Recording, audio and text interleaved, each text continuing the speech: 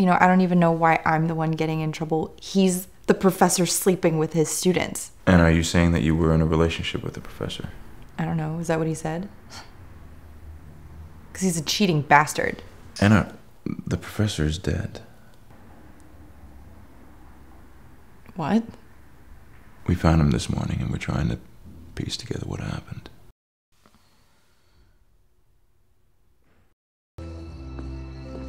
Come out, come out wherever you are. Stop! I'll do it. I'll merge with you. Just don't hurt anyone else. I've been looking for you everywhere. I'm thinking. What are you thinking about? A dream I had. But you can't dream. I did. Are you going to kill her?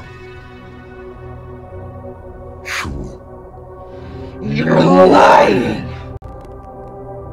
You're gonna choose her over your own kind. Is it because you think that she's beautiful and that we're monsters?